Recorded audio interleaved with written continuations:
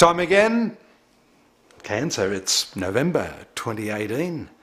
And if you were here last month, I was talking about Saturn and its restrictive influence on your life. How working with this planet is difficult for most people because our natural reaction or tendency is to is to resist things that are problematic we have a tendency to gravitate towards those things we love, and we are repelled by those things which hurt us, which are painful.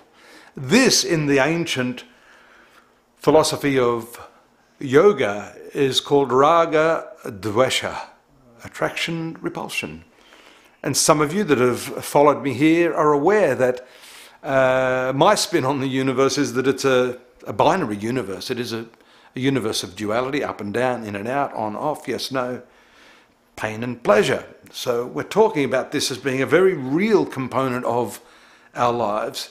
And actually the motivator, it's the, the primary motivator behind why we do what we do and to a large extent how we become who we become. Um, so how do we deal with this? And this month, I'd like to introduce the principle of Jupiter, the planet of expansion, because these two planets in the horoscope, the planet of contraction, resistance and pain, really does seem to be the opposite of Jupiter, which is the planet of expansion and spiritual uh, idealism. It is a different type of love to the love that we look at when we talk about the planet Venus. In fact, in ancient Hindu astrology, Venus is called Asura or a demonic uh, planet. Um, and I won't go into too much depth on that except to say that Venus does anchor us to the material world and the sensate organic existence that we identify with. Jupiter's love is a different sort of love. And yeah, this theme is going to run through similarly all of the star signs, but in your case, Jupiter is transiting the fifth house now, Cancer. So what this indicates is you know, children, offspring. It is also the future, according to some astrologers, as opposed to the ninth house, which is the past. And the fifth house is creativity. Um, and to a large extent, some of you may have heard me talking about this in the past as well. This fifth, it's interesting how the fifth house of children is also layered by this fifth house of creativity, speculation. And it's interesting when we look at children in terms of expansiveness. Um, I've often watched my daughter, who's going on six years old, playing.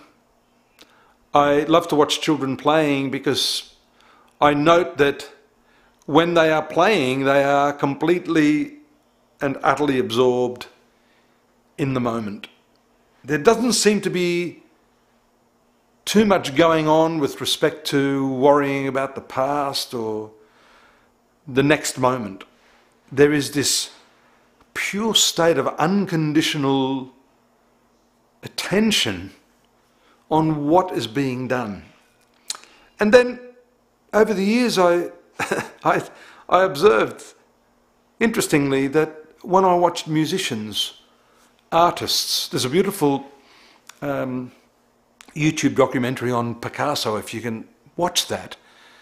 You know, incredible artists like Picasso, when they're painting, it's almost like they've reverted back to this childlike state where there's no concern for anything other than the brushstroke. So the question for you now is are you living your life with rapt attention in this moment, Cancer? I mean, well, just don't think about it. So I also say to many of my clients, what's wrong with right now if you don't think about it? This moment is not something that needs superimposition by your rational or intellectual mind and its processes. this moment's happening. And put it this way if you fall asleep right now, the moment is still happening, everything is still happening. With the distinct difference that you're not overlaying, you're not superimposing on the moment an idea, a, a deduction, a judgment. And that to me is really the lesson for you right now while Jupiter is transiting this incredible fifth house. Mind you, Venus has now entered into this transit as well. So Venus is moving into a conjunction. That is very, very lucky for you. Now, you may have a slight problem. There's a couple of schools of thought astrologically, and one of them is that Jupiter's transit in the fifth house actually makes it blind to that fifth house. In other words, it's a beautiful planet. It gives its influences everywhere else, but it may inadvertently overlook its own position. And maybe that's a bit of a philosophical insight for you. Maybe you're overlooking your own position. Maybe you're overlooking the beauty of this moment, the appreciation and gratitude of this moment, the simplicity of this instant. The transit of Jupiter really, uh, while it is here in this fifth house, really beckons you to bring your attention back and to find that childlike innocence again. I know it's difficult.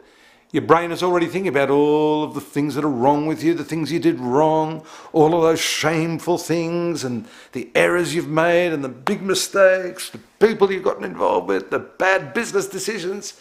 Stop. What's wrong with right now if you don't think about it? Bring yourself back to this moment. Engage yourself in something you enjoy doing. And let yourself swim in that spontaneous creativity for a moment. See where it takes you. That's all I'm asking you. Just explore that, experiment. Come back next month if you want. We're going to talk more. I want to, I want to pursue some of these philosophical lines that are going to maybe open you up to the potential, the what I call the science of human possibilities within yourself. In the meantime, travel on over to astrology.com.au, my site.